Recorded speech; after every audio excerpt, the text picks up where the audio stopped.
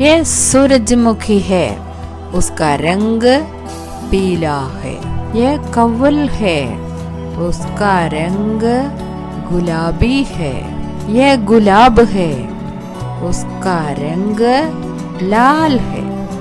यह चमेली है, उसका रंग सफ़ेद है। ये हिबस्कस है, उसका रंग लाल है।